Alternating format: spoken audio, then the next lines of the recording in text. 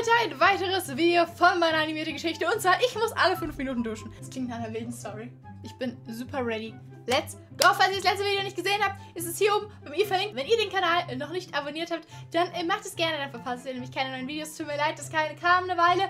Denn ich hatte Corona und ich musste die ganze Zeit husten. Aber jetzt ist wieder alles besser. Let's go! Hallo zusammen, mein Name ist Judah und ich Hallo. lebe in Seoul, Südkorea. Ich war erst vier Jahre alt, als ich merkte, dass mit meiner Mutter etwas nicht stimmte. Die anderen Kinder ist umarmen und ihre. Eltern immer. Warum können wir das nicht tun, Mama? Nenn mich nicht so. Sie drehte sich um, Okay. um wegzugehen und ich musste es tun. Ich rannte zu ihr und umarmte sie ganz fest. Mach einfach so, Mami. Es ist ganz einfach. Sie rannte buchstäblich von mir weg. Sie wollte nicht wirklich etwas mit mir zu tun haben. Sie benutzte Dienstmädchen, Butler und Geld, um mich mein ganzes Leben lang von ihr fernzuhalten. Hm, Zuerst dachte so ich, great. dass etwas mit mir nicht stimmt. Aber meine Cousine Harry war da ganz anderer Meinung. Judah, du bist meine beste Freundin auf der ganzen Welt, denn du bist perfekt. Deine Mutter ist einfach der Teufel. Ich Mhm. war so neidisch. Harrys Eltern waren unglaublich. Obwohl sie sehr Ist sie sich sicher, dass es ihre Eltern sind? Ich sag nur, die blonden Haare sind verdächtig. Nee, aber äh, klingt auf jeden Fall äh, sehr uncool von der Mom. Ich frage mich, was arm da los und weit ist. weg in Amerika lebten, versuchten sie, mich jedes zweite Jahr zu besuchen. Sie riefen mich ständig per Videocall an Sehr und ich cute. liebte sie. Eines Tages rief Harry mich an und erzählte mir eine tolle Neuigkeit. Die Firma meines Vaters ist über Nacht explodiert. Wir werden endlich reich sein. Das ist fantastisch. Uh. Noch besser Weißt du ist, noch nicht, was es mit den Duschen zu tun hat? Sie scheint jetzt auch erwachsen zu sein und hat nicht ihr Leben lang alle fünf Minuten geduscht. Ich weiß nicht, genau, wann hier der große Surprise-Twist äh. Twist kommt. frag die Hexe, ob ich bei dir übernachten kann. Ich ging raus, um mit Mama zu reden, aber sie saß dort mit ein paar fremden Männern. Oh, oh. Judah, da bist du ja. Komm und lerne den Jungen kennen, mit dem ich dich verkuppeln will. Du willst was? Er besitzt Diamantenminen. Diamanten. Du kannst mit ihm ausgehen Mutter ist und richtig nervig. heiraten. Auf keinen Fall. Bist du verrückt geworden? Wage es nicht, mich vor allen zu beleidigen. Wage es Was nicht. heißt denn vor allem, das sind zwei Leute und den einen, den will sie offensichtlich nicht als, als verkuppelten Freund. Also, sehe ich sich in schon. mein Leben einzumischen. Harry hat recht, du bist eine Hexe. Ihre Gäste lachten und sie wurde ganz rot.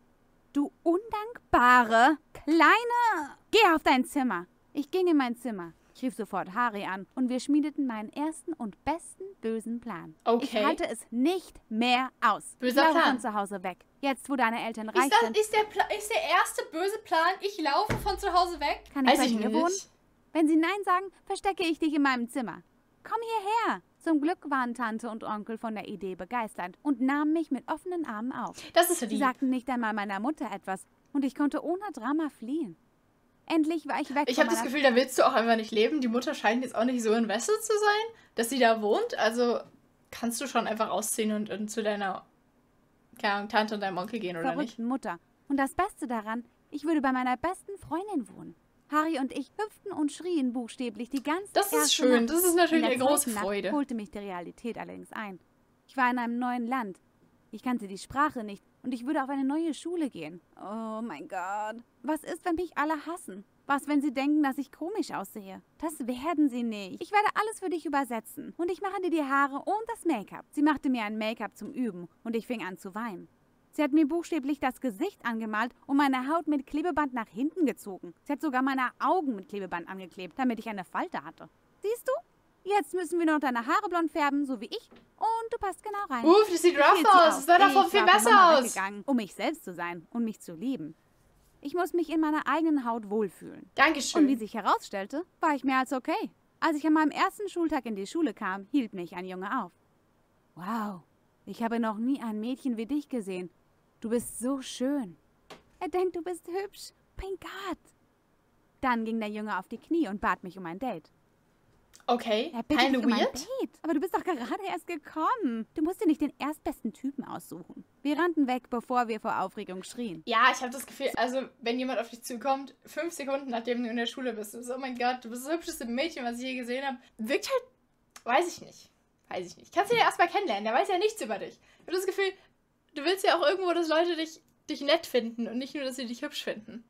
So wurde ich noch nie um ein Date gebeten. Der erste Tag war schon lustig, aber nur weil Harry an meiner Seite war. Das ist cute, dass die Ohne Freunde sie war sind. plötzlich alles unmöglich. Ich verstand kein Wort, das jemand sagte. Ein Junge wollte mich vor einer Spinne auf meinem Hemd warnen Und ich habe es kapiert, als er auf mein Gesicht krabbelte. Hm. Io! Ich wusste nicht einmal, wie ich die Lehrerin fragen soll, ob ich auf die Toilette gehen darf. Ich ging einfach schweigend aus der Klasse und sie fing an, mich anzuschreien. Ich war den Tränen nahe, bevor ihr jemand sagte, dass ich sie nicht verstehen kann. Eines Tages sprach Harry für die Cheerleader-Truppe vor, also ging ich mit ihr zur Unterstützung hin. Wir tanzten Ist zusammen für das Training, als plötzlich die Cheerleader auf uns zukamen. Wow, du bist eine tolle Tänzerin.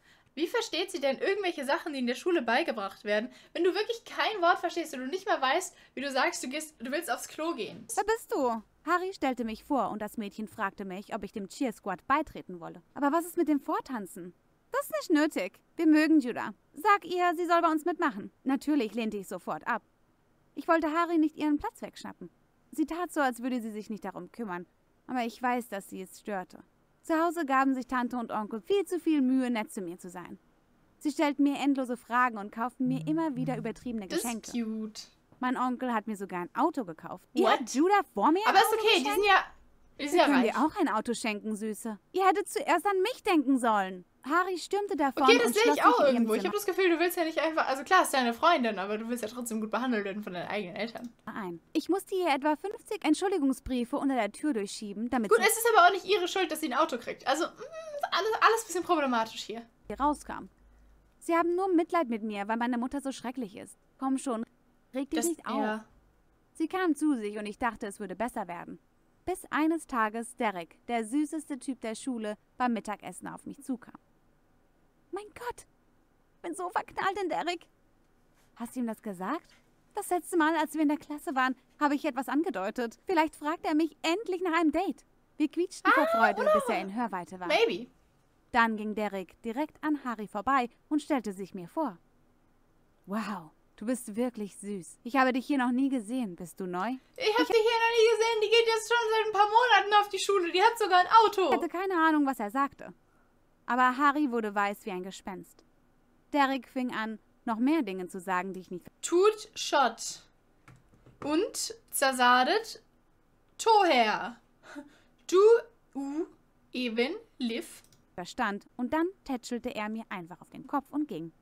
Was war das? Ah ja. Ähm, er hat mich zu einem Date eingeladen. Dich? Aber ich habe das Gefühl, er hat mit mir geredet. Er war nur schüchtern. Er hat gesagt, dass er mich zum Essen einladen will. Also wenn du auch gar kein Englisch kannst, was ich unwahrscheinlich finde, weil die Leute in Korea, glaube ich, auch Englisch lernen. Wenn du gar kein Englisch kannst, dann willst du aber auch nicht mit jemandem zusammen sein, der nur Englisch spricht und gar kein Koreanisch. Also wie willst du dich denn verständigen? Ich habe das Gefühl, dann hast du auch einfach nicht so great times. Dann sitzt du die ganze Zeit gegenüber voneinander und schweigst dich an. Oh, wow, das ist unglaublich. Ich bin aufgesprungen, aber Harry hat sich mir nicht angeschlossen. Im Gegenteil, sie benahm sich so seltsam. Es Die ist auch eine weirde Lüge. Es macht über. Warum, warum würde Harry jetzt hier sagen, uh, der hat mich nach einem Date gefragt, wenn er obviously das andere Mädel gefragt hat? Du kriegst ja nicht automatisch ein Date, nur weil du lügst. Du kriegst, du, sag, du kannst ja nicht einfach statt ihr dann da hingehen und sagen, hoppala, da hast du dich jetzt hier wohl missverständlich ausgedrückt. Eigentlich dachte ich, du meinst mich. Und, und die ist dann einfach nicht da. Also es ist auch einfach weird. Gewinnt halt Keiner. keiner. dann allein vor der Schule nach Hause zu laufen. Als sie sich mit Derek verabredete, erzählte sie irgendeinem Mädchen in der Schule davon, aber nicht mir. Ich habe mich in das Gespräch eingemischt und sie weggezogen. Was ist los? Aber sie spricht Koreanisch. Also hier Blondie spricht Koreanisch. Sonst könnten die sich ja nicht unterhalten. Aber die wohnt in Amerika. Meine Frage ist mehr, I don't know, ich verstehe gar nichts. Wie ist sie denn jetzt an das Date reingekommen? Es macht gar nicht keinen Sinn. Warum ignorierst du mich? Warum können wir nicht einfach unsere eigenen Leben führen? Harry, du bist meine beste Freundin. Ich will mit dir Zeit verbringen. Damit ich weiter deine Übersetzerin sein kann? Ich liebe dich, Judah. Aber ich brauche jetzt Abstand von dir. Lass mich einfach in Ruhe.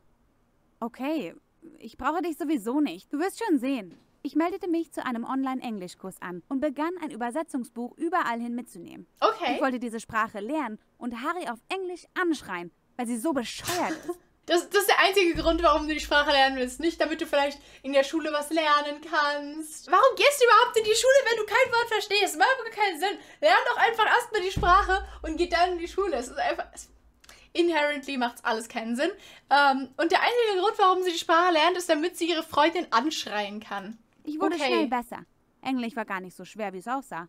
Ich konnte mich sogar schon ganz gut alleine verständigen und fand ein paar Freunde. Okay, let's Eines go. Tages waren wir in der Cafeteria, als Derek auf mich zukam. Er hatte Blumen in den Händen und sein Freund aus der Band spielte auf einer Flöte. Was zur... Judah, ich weiß, dass du damals nicht mit mir ausgehen wolltest. Aber ich kann nicht aufhören, an dich zu denken. Gibst du mir noch eine Chance? Was redest du denn da? Du wolltest mit mir ausgehen? Ich habe dich an dem Tag gefragt, erinnerst du dich? Harry sagte, du wolltest nicht gehen. Also ist sie stattdessen zu unserem Date gekommen. Sie ist was? Sie ist stattdessen, es ist so, ich frage mich halt, wie das Gespräch stattfindet. Ich meine, du kannst doch nicht zwei Leute da haben und es ist so, hm, ja, also sie hat keinen Bock, aber kein Ding, ich gehe mit dir. Ich starrte Harry mit offenem Mund an. Sie hatte bereits Tränen in den Augen. Okay, gut. Derek hat dich eingeladen, nicht mich. Zufrieden? Ich war eifersüchtig, also habe ich gelogen und bin mit ihm ausgegangen. Ist das dein Ernst? Bist du ein Freak? Was ist nur los mit dir? Hey, sprich nicht so mit ihr. Wir haben unser Date wegen dieser erbärmlichen Verliererin verpasst. Pff, wie verzweifelt kann man eigentlich sein?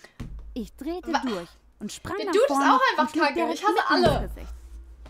Ich sah einfach nur schwarz. Und Okay, plötzlich war gut ich im gemacht. Büro des Schulleiters. Derek hatte einen Eisball auf seiner blutenden Nase. Und meine Tante... Er ist auch einfach Onkel nicht cool. Ich meine, warum hält er eine Blockflöte? Habt ihr das gesehen? Hier, kurze Frage. Welcher coole Dude läuft in der Schule rum mit einer Blockflöte? In der Highschool? in der Nase. Und meine Tante sowie mein Onkel Kein cooles Gimmick. Ich Niemand mag die Blockflöte. Meist macht die Blockflöte Lärm. und ich hatten den größten Streit aller Zeiten zu Hause. Ich würde niemals mit jemandem ausgehen, in den du verknallt bist. Wie kannst du wegen eines dummen Jungen so gemein zu mir sein? Es geht nicht um den Jungen. Seitdem du hier bist, reißt du alles an dich. Meine Freunde, die Cheerleader, den Typen, den ich mag. Du bekommst alles. Sogar meine eigenen Eltern mögen dich lieber als mich. Harry, sag so etwas nicht. Ihr seid wie Schwestern. Wir sind Cousinen. Ich bin eure Tochter. Aber ihr wollt nur mit Judah reden und ihr verrückte Geschenke kaufen, während ich nie so behandelt wurde. Wir versuchen nur, die Fehler der Vergangenheit wieder gut zu machen. Ja, Welche ist echt Fehler? so. In diesem Moment verriet uns meine Tante ihr dunkles Geheimnis. Oh, okay. und ich waren zweieiige Zwillinge. Sie waren mein What? What do you mean, zweieige Zwillinge? Meine Eltern? Ich saß schockiert da, während meine Tante mir erklärte, wie arm sie waren, als wir geboren wurden. Und dass sie mich an ihre reiche Schwester Sie weggeben haben mussten. eine abgegeben und die andere nicht? Warum habt ihr Harry behalten? Warum nicht mich? Du hattest als Baby viele medizinische Probleme. Wir konnten die Okay. Rechnung nicht bezahlen. Ich dachte, meine Schwester würde sich besser um dich kümmern. Ich Okay, dachte, das sehe ich, hätte irgendwo. Aber dann Mutter, gib doch trotzdem beide weg. Die mich nicht will. Dabei stellt sich heraus, dass ich drei Eltern habe und keiner von ihnen wollte mich. Judah, so ist es nicht. Ich stand auf und rannte in mein Was Zimmer. für ein- Unter Tränen Ah, fing was für ein Murks, gell? Judah, nein. Bitte geh nicht weg. Es tut mir so leid. Ich meine, ich sehe das mit den medizinischen Problemen, right? Dass man da jemanden will, der sich um deine Tochter kümmert. Und wenn es die eigene Schwester ist, schätze ich mal, ist es auch besser. Aber wenn, wenn du doch mitkriegst, über Jahre, dass die sich richtig, richtig kacke nur kümmert um dich, dann sag doch, hey, weißt du was? Wir nehmen die wieder zurück. Und sagen dir die Du Wahrheit. Also auch als Monster Kleinkind. zurückgelassen. Also irgendwann hat sie doch 17 Geld. Jahre gewartet, um mir die Wahrheit zu sagen. Tu nicht so, als ob es dich interessiert. Ich stürmte hinaus und schaute nicht einmal zurück. Ich war Okay. fertig damit, meiner Familie zu vertrauen. Mein Herz war gebrochen. Ich verkaufte das Auto, das mein Onkel mir geschenkt hatte, und mietete von dem Geld eine Wohnung. Ich fand einen Job und konzentrierte mich auf mein Studium. Mein Herz versteinerte. Und als Harry hundertmal versuchte, sich bei mir zu entschuldigen, sie scheiterte immer wieder.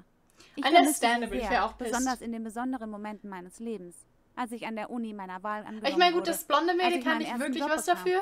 Am Tag meiner Ich Hochzeit habe das Gefühl, ich mit der hast du dich ja eigentlich so halb wieder vertragen. Ich habe das Gefühl, den muss ich auch nicht so wirklich entschuldigen. geworden, mit Millionen von Followern.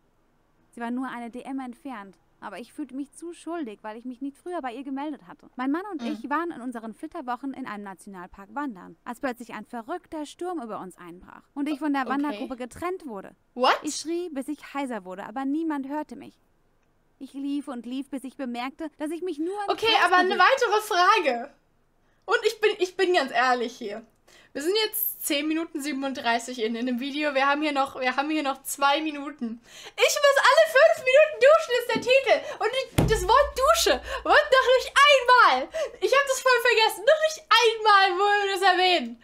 What? Ich werde nicht aufgeben. Du kannst mich nicht haben. Wald.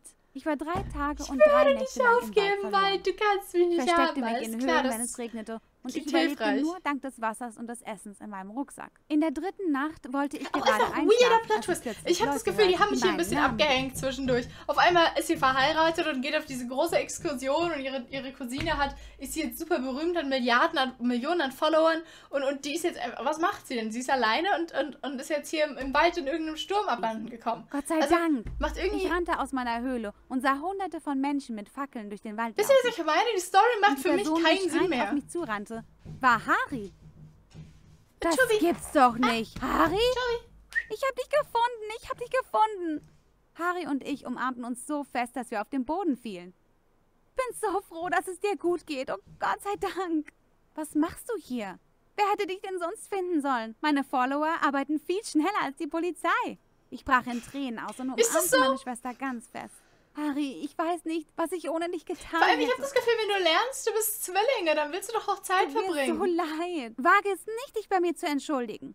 Du warst diejenige, die mit der Hexe zurückgelassen wurde. Ich war alles, was du hattest, und ich war so schrecklich zu dir. Lass uns einfach alles, was passiert ist, vergessen. Heute hast du mich gerettet, und dafür werde ich dich für immer lieben. Ich Okay. liebe dich auch. Es ist ja schön. Ich hab das freut mich auch für sie. In die Frage, die sich Mutter mir stellt. Ist halt, warum? Du bist in Musst du alle fünf Minuten duschen? immer verloren. Es tut mir so leid. Okay, jetzt die Mutter wieder da, große Versöhnung. Es, ist, es macht ja irgendwo Sinn, aber ich lieben. frag mich halt, warum. Also, hier, ich weil denk mir das nicht aus. Nee, das- hier. nicht leisten konnte, hätte Ja. ich. Du hast dein Bestes getan, Mama. Das weiß ich jetzt. welche Richtung? Ich weiß nicht, wo gerade ich, wo ich bin. Ja, Mama. Oh mein Gott. Meine Mutter umarmte mich erneut und mein Vater ist- kam Sekunden es ist später einfach bizarr. Wir weinten und lachten zusammen und meine Familie war endlich wieder beisammen. Alles klar, das war's mit diesem Video. Wenn es euch gefallen hat, dann lasst einen Daumen hoch da, wenn ihr den Titel irreführend fandet. Dann schreibt mir das gerne in die Kommentare, weil same. Bin ein bisschen verwirrt, hab gedacht, es geht in eine andere Richtung. Aber gut, wenn ihr es noch nicht gemacht habt, abonniert den Kanal, verpasst ihr nämlich keine neuen Videos und dann sehen wir uns im nächsten. Macht's gut, tschüss!